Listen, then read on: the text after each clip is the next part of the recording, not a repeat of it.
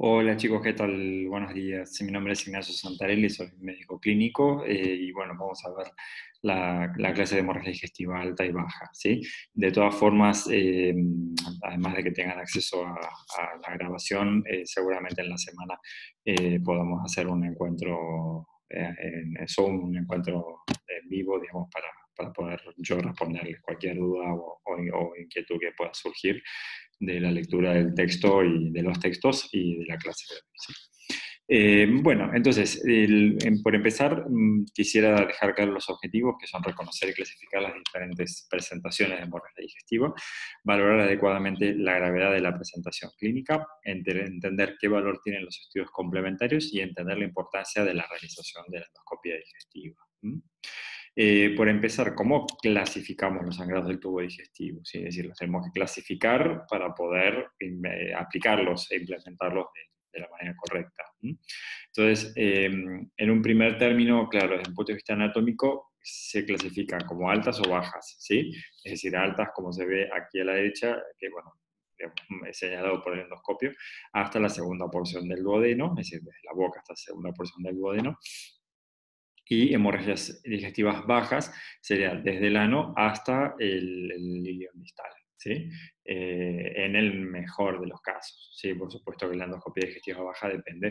Eh, en el mejor de los casos me refiero que esa va a ser la visualización, ¿sí? porque depende muchísimo del estado, de la preparación previa del intestino. Entonces surge un primer interrogante, ¿no? ¿Qué pasa con el intestino delgado? ¿no? Porque claro, yo les estoy diciendo que Eh, en el mejor de los casos, el endoscopio puede ver desde el ano hasta distal y desde la boca hasta la segunda porción del duodeno. Entonces, claro, queda toda la segunda, por todo el, perdón, todo el intestino delgado, casi todo el, casi todo el intestino delgado, perdón, que no puede visualizarse. Entonces, ¿qué es lo que sucede si llegara a haber un sangrado de esos segmentos del intestino? ¿Mm? Bueno, ahora después lo vemos.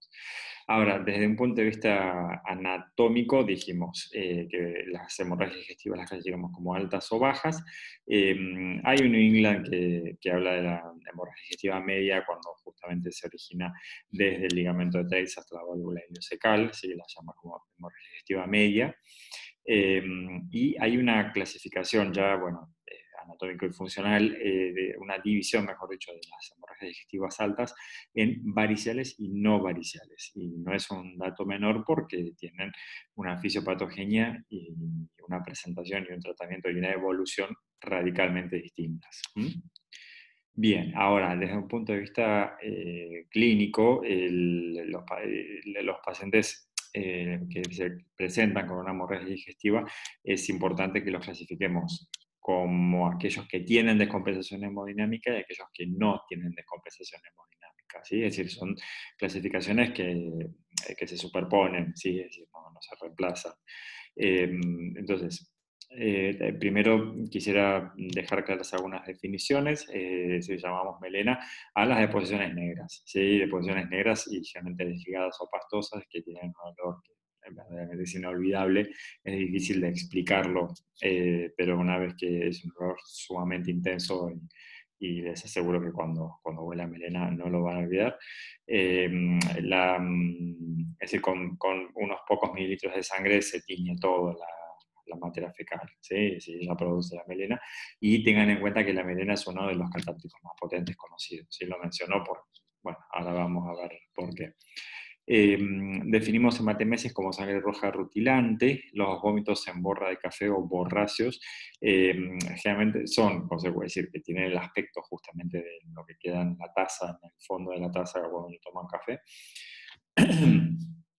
Em, ese color em, gris marronado, eh, que justamente son consecuencia de la acción de los jugos gástricos sobre, la hemoglobina y da noción de un sangrado no tan reciente. ¿sí? Eh, es eh, proctorragia es, o sea, por definición, proctorragia es un sangrado que proviene del recto. Eh, uno tiene que asegurar o, estar seguro, mejor dicho, de que proviene del recto, no de cualquier otro segmento, no del sigmoides, por ejemplo. Y definimos como hematoquesia la eliminación de sangre roja rutilante por el ano. Eh, aclaro estas últimas dos porque muchas veces se usan de forma intercambiable y no es lo correcto. Eh, proctorragia es un sangrado que proviene del recto eh, si el sangrado proviene del cono sigmoides, no es proctorragia, eso es lo que quiero marcar.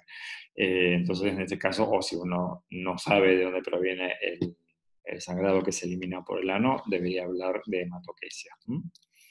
Bueno, en, este, en, esta tabla lo que, mm, hay una, una, comparación ¿no? entre lo que son las hemorragias digestivas altas, variciales, altas no variciales y la baja. ¿sí?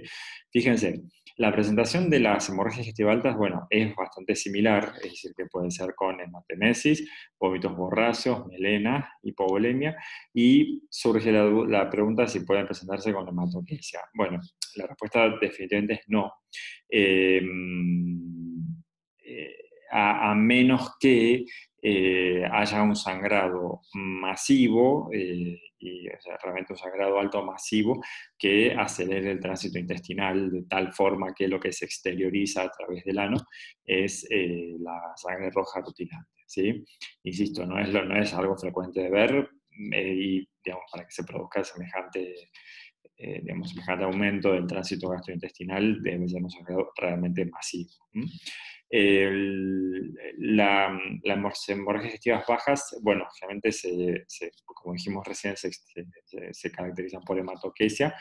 Eh, bueno, pueden dar hipovolemia y surge la, duda si pueden dar melena.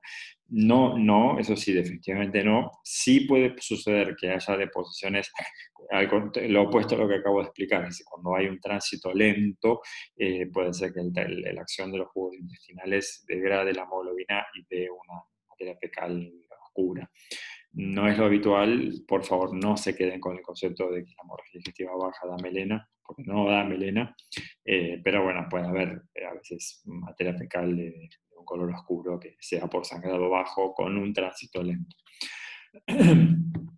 La autolimitación, es decir, que, el, sangrado se detenga solo sin ninguna intervención por parte de nosotros, es eh, sumamente frecuente en la hemorragia digestiva baja en la hemorragia digestiva alta no varicial y solo en la mitad de los casos de la hemorragia digestiva alta varicial. ¿sí?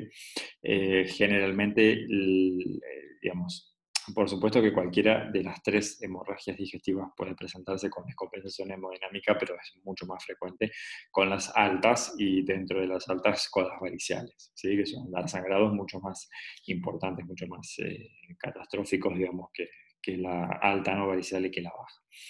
Y bueno, la mortalidad es francamente mayor en la hemorragia digestiva varicial, casi el doble de la no varicial y eh, casi cinco veces más que la baja. Bueno, esta es la parte aburrida, la parte de las listas, eh, pero tengo que mencionarlo. Em, dentro de fuentes de sangrado alto eh, encontramos las úlceras pépticas, duodenalo-gástricas, las varices esofágicas o, gástricas que existen, eh, esofagitis, gastritis duodenitis, gastropatía hipertensiva, angiodisplasias, eh, masas, el síndrome de Mallory-Weiss, que lo recordarán, es decir, un desgarro esofágico eh, por vómitos que muy frecuentemente se ve, pero no siempre, se ve en los pacientes alcohólicos, la lesión de la foie, que es, una, es un vaso submucoso que suele erosionarse y sangrar. Mm, tiene característicamente, son sangrados muy importantes eh, que en el momento, momento de la endoscopía no se evidencia la fuente. Eh, entonces es para tenerlo en cuenta especialmente eh, como diagnóstico diferencial, especialmente cuando no se encuentra la causa del sangrado. Y las ectasias gástricas.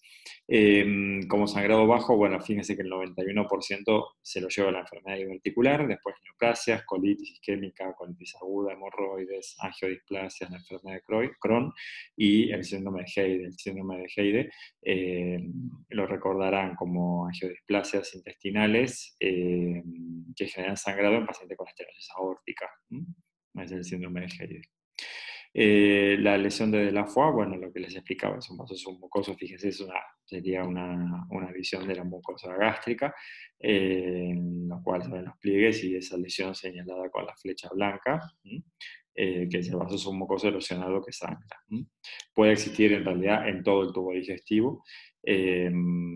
generalmente, bueno, es en pacientes que no tienen historia de sangrado gastrointestinal, son debuts, por decirlo así, eh, y muchas veces son sangrados recurrentes, tenganlo en cuenta. Eh, bueno, en cuanto a qué, qué, debería uno preguntarle al paciente para, eh, digamos, como en, la aproximación, ¿no? Como qué antecedentes pueden, eh, eh, digamos, orientarnos sobre la, la, causa de la hemorragia. Así que si bien uno puede tener toda la presunción diagnóstica nos guste o no nos guste, la confirmación es endoscópica. entonces, uno Mm, digamos, uno le puede preguntar al paciente y debería preguntarle si tiene antecedentes de alguna, alguna, causa hemorragia digestiva conocida, como puede ser la enfermedad ulceropéptica y dispepsia, que es lo más frecuente, enfermedades hepáticas, porque claro, ya lógicamente orientaría, aunque por supuesto que los pacientes con enfermedades hepáticas crónicas pueden tener sangrado por úlcera péptica y, no por varices esofágicas, pero bueno, mucho más frecuente. Eh, alcoholismo, consumo de AINES, pérdida de peso, eh, eh, digamos, para enfocarse o orientarse sobre una neoplasia, y cambios del hábito respiratorio por la misma razón. Em, bueno, y ciertas comorbilidades, digamos, no, tanto enfocado a la causa del sangrado, sino comorbilidades, eh, el infarto agudo del miocardio, insuficiencia cardíaca, principalmente porque la eventual reanimación con volumen, eh, con líquidos fluidos en estos pacientes eh, claro, debería ser más cautelosa que en otros pacientes. Eh, enfermedad pulmonar obstructiva crónica, porque generalmente les va peor, y eh, enfermedad renal crónica por lo mismo. Ahora, una de las cuestiones más importantes es la valoración del estado hemodinámico, ¿sí? al que me refiero con la valoración hemodinámica, claro, porque el, cuadro más catastrófico, digamos, el, el cuadro más grave dentro del repertorio que puede tener un paciente con una hemorragia digestiva es el shock hipovolémico. Entonces, claro, ¿cómo lo identificamos? ¿sí? Eh, clínicamente, bueno, por la alteración, generalmente los pacientes que están en shock hipovolémico están con deterioro del nivel de conciencia, es decir, que están somnolientos o estuporosos, eh, palidez, frialdad, sudoración y que vemos en, la piel. y bueno, después en realidad, antes eh, eh, quería recordar este cuadro que seguramente lo, tengan en sus textos, eh, qué porcentaje, para tener claro dónde estamos parados, qué porcentaje de, la, pérdida de la bulimia se asocia con los signos clínicos. ¿sí? Fíjense, con la taquicardia en reposo aparece con la pérdida de más o menos un 15% de la bulimia, lo cual ya es preocupante. cuando hay hipotensión ortostática se puede haber perdido hasta el 40% de la bulimia, o sea, es mucho. O sea, fíjense que el, paciente con hipotensión ortostática está normotenso, sentado. Es decir, pero por eso hay que específicamente buscar eh, la hipotensión ortostática. Y la hipotensión supina ya habla de, una pérdida del más del 40% de la bulimia. Ahora, si yo les hablara, que, les contara que un paciente consulta por un cuadro compatible con una hemorragia digestiva, supóngase alta, eh, porque tiene, por ejemplo, eh, de Matemesis. Y claro, yo les muestro esto, estas dos imágenes del examen físico que, que llama la atención, capaz. Pueden tomarse unos segunditos para verlo sin que yo hable.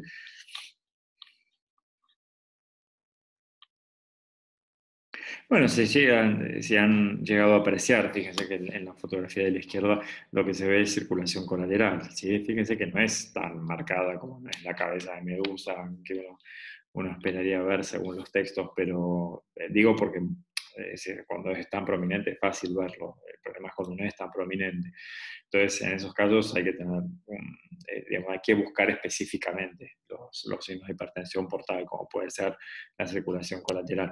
Y este, el, este paciente de la derecha tiene, francamente, tiene ictericia, así que también depende del grado de hiperbilirrubinemia.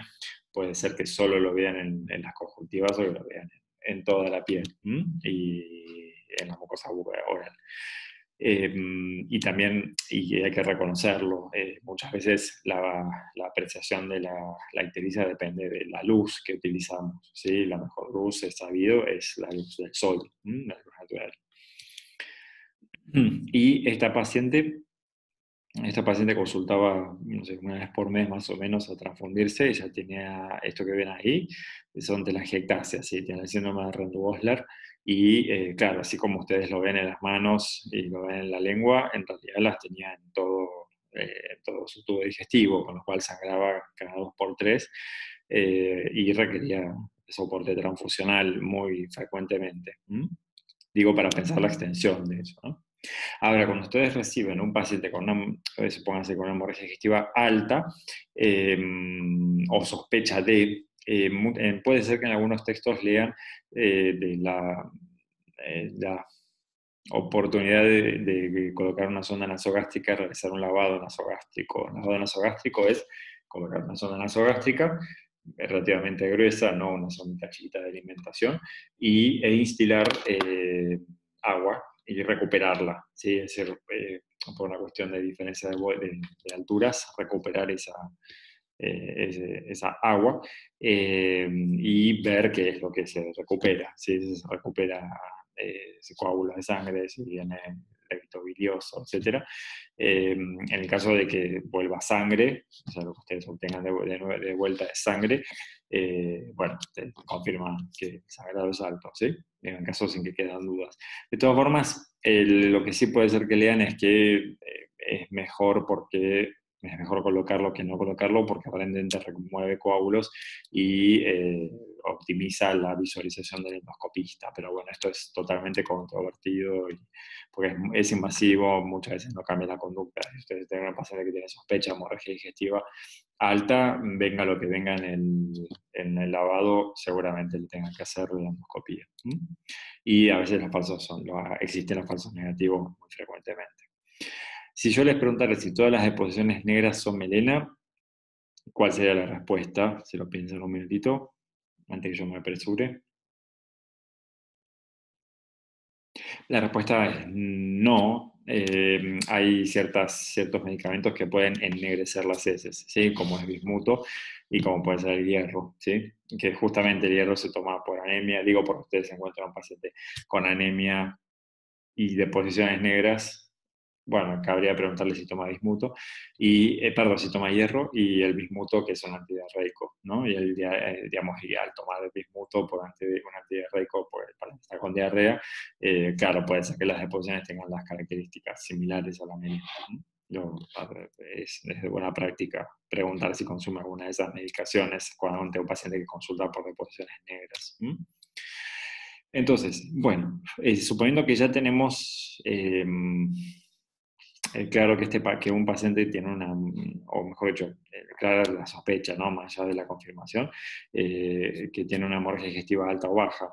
¿Cuáles son los estudios complementarios que solicitar, solicitaríamos? Bueno, por supuesto que un hemograma, que, que es la ¿qué información nos aportaría, bueno, que tenga o no anemia como repercusión de la, de la, del sangrado, y si tiene, si tiene o no trombocitopenia trombocitopenia como factor predisponente al sangrado o trombocitopenia como consecuencia del sangrado. A veces, cuando hay sangrados muy importantes, pueden producirse, eh, digamos, consumo de, factores de coagulación, consumo de plaquetas, y es un dato a tener en cuenta. Eh, la función renal, más que nada porque, la, claro, sabemos un sangrado es, eh, una causa de hipovolemia, eh, y puede generar eh, un daño renal agudo, renal en este caso, ¿sí? que muchas veces lo podemos visualizar más allá de que, de que esté alterada la creatinina o elevada la creatinina, con una, eh, también puede estar elevada la urea, pero generalmente cuando son sangrados agudos, la creatinina suele estar mucho más, o sea, en proporción, mucho más elevada perdón, la urea suele estar eh, en proporción mucho más elevada que la creatinina. Eso es una disociación urea-creatinina. Por ejemplo, si los valores normales de eh, urea es hasta 40 y el paciente tiene, por decir cualquier cosa, 200, que sería por 5, el del valor máximo de la creatinina es 2, que es un valor alto, eh, pero no es por 5 del valor máximo, que sería 5, 5,5. Eh, eso es francamente una disolución de urea-creatinina. Em, por supuesto que cualquier paciente que está con un sangrado que eh, corroborar el coagulograma, sí, porque puede ser un factor predisponente o perpetuante. Y eh, en el caso de los pacientes que estén, eh, que ustedes observen que estén graves, críticos, que tengan signos de hipovolemia, signos de hipoperfusión, es de buena práctica hacer una gasometría, aunque sea venosa, con ácido láctico para comprobar que tenga o no eh, una acidosis metabólica, especialmente una acidosis láctica. Bien, y bueno, seguramente estudios de rutina como un electrocardiograma y una placa de tórax, pero bueno, no, puntualmente para hacer el diagnóstico de hemorragia digestiva. ¿sí? Entonces, en, el caso de una, eh, una sospecha de hemorragia digestiva, el estudio a realizar sin duda es una endoscopía. La endoscopía es diagnóstica y eh, eventualmente terapéutica, depende de los hallazgos. Entonces, la pregunta sería, ¿cuándo hay que realizar? Si el paciente tiene una hemorragia digestiva alta, varicial o no, eh, con descompensación hemodinámica, hay que hacerlo inmediatamente después de la resucitación. ¿sí? Resucitación sería mm, tratar de llevar la presión arterial a valores normales, eh, si es necesario transfundir glóbulos rojos, corregir la coagulación si está alterada, mm, cuestión de que el procedimiento que se realiza siempre en el quirófano eh, se haga en las mejores condiciones posibles, ¿sí? Pero no es un estudio para hacer mañana, eso tiene que estar claro. Si la hemorragia es alta pero sin descompensación hemodinámica, bueno, lo que está descrito en las guías es que tiene que ser dentro de las 24 horas del ingreso, ¿sí? Pero bueno, cada caso es particular y... Eh, en el caso de la hemorragia digestiva baja, eh, perdón, y una aclaración, la hemorragia digestiva alta sin descompensación hemodinámica, pero varicial, la varicial, las hemorragias digestivas altas variciales generalmente se hacen, las endoscopías hay que hacerlas eh, inmediatamente cuando el paciente esté en condiciones, ¿sí? Eh, que puede ser que llegue en condiciones. Eh, hemorragia digestiva baja, bueno, debe realizarse dentro de las 24 horas de la presentación, ¿sí? luego la resucitación si es necesario, y la adecuada preparación colónica. ¿A qué me refiero con preparación colónica? Es decir, al intestino grueso hay que evacuarlo, digamos, con, catárticos, ¿sí? Hay, hay preparaciones especiales. Eh, eh, pero bueno, por supuesto que debe realizarse la preparación intestinal eh, correspondiente para poder visualizar. ¿sí? Ahora la, pregunta surge, ¿qué pasa si el paciente tiene una hemorragia digestiva baja y llega con descompensación hemodinámica, en el cual no podemos esperar 24 horas? Bueno, por suerte existe otra... Mm, digamos, otra metodología diagnóstica y también eventualmente terapéutica, que es la arteriografía diagnóstica, angiografía o arteriografía diagnóstica y terapéutica, ¿sí? que consiste en la, eh, digamos, de la misma manera que se hace un cateterismo, eh, cateterismo eh, coronario, se puede hacer un cateterismo esplácnico, perdón, para evaluar la, la vascularización intestinal. Si hay alguna arteria, por ejemplo, que esté sangrando, se puede embolizar a través de una sustancia que, se inyecta, digamos, en, dentro, dentro mismo de la arteria, en el sitio específico donde esté el sangrado. Bueno, y esto que estamos viendo acá es la clasificación. Eh, eh, bueno, eh, tengo que admitir que es una clasificación endoscópica, no es una clasificación clínica, pero bueno, como es la clase de hemorragia digestiva, es un lenguaje que deberíamos incorporar. No es difícil, es decir, fíjense, digamos, son la, la, clasificación endoscópica de Forest, que es estadio 1, 2 o 3. 1 es sangrado activo, Dos son estigmas de sangrado reciente, o sea, que hubo un sangrado reciente quedaron eh, la evidencia, quedó la evidencia, y eh, la el grado 3 es, que no, no, hay estigmas de sangrado, ¿sí? O sea, que hay una lesión, pero sin estigmas de sangrado. Eh, entonces, vamos de vuelta. Eh, Fores 1 implica sangrado activo. 1A es sangrado activo, es el sangrado arterial. ¿sí? Eh, perdón, los dos son sangrados activos. 1A eh, es sangrado en chorro o en jet, o sea, es el, típico sangrado arterial. El 1B es el sangrado en babeo, que es un sangrado venoso. Se, eh, lógicamente se ve como sangre que se, se, desliza, por decirlo así, del sitio de origen. No es un chorro como en el caso del sangrado 1A. En el caso de, la clasificación 2 son estigmas de sangrado reciente, sería eh, A, B y C respectivamente, un vaso visible sin coágulo, 2B es el coágulo adherido y 2C es una lesión con mancha pigmentada de matina que ahora la vemos. Y la clasificación 3 son, es cuando no hay estigmas de sangrado. ¿sí? Es decir, fíjense en esta presentación, llegan a ver, es muy sutil, pero la 1A, o sea, un sangrado arterial, fíjense que este es el sangrado arterial, ¿sí? ve el chorro literalmente de sangre, esto es la mucosa esofágica. 2B eh, es un sangrado, un babeo justamente, de, la base de una úlcera. Eh, Eso sería clasificación 1. Clasificación 2, en el cual vemos estimas de sangrado reciente, es vemos la úlcera con un vaso visible que sería esto. ¿Sí? Ahí se ve. El 2B es el coágulo adherido, que es, eh, los coágulos generalmente no se remueven porque no se sabe qué hay abajo, es como sacarse una cascarita eh, de la piel, digamos, uno la remueve y capaz vuelve a sangrar, ¿sí? o sangra peor. Eh, y la 2C, que son las manchas, las manchas de matina. Y por último, la, la úlcera Forest 3, o sea que es una úlcera, hay una lesión, pero sin ningún tipo de, de signo de sangrado ni reciente ni activo.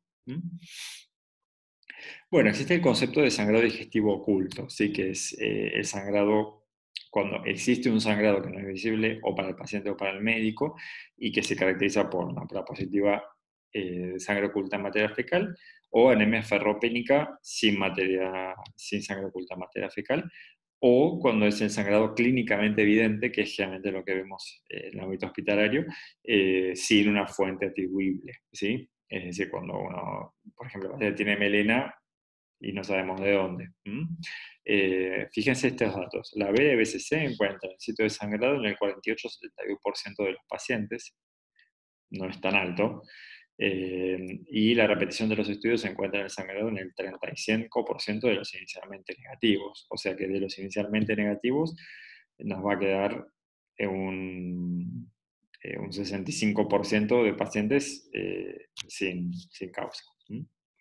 Bueno, entonces, ¿qué es lo que hacemos con esos pacientes? Eh, los cuales tienen, por ejemplo, dos endoscopias, clara evidencia de, sangrado digestivo alto, con, por ejemplo, dos endoscopias altas negativas.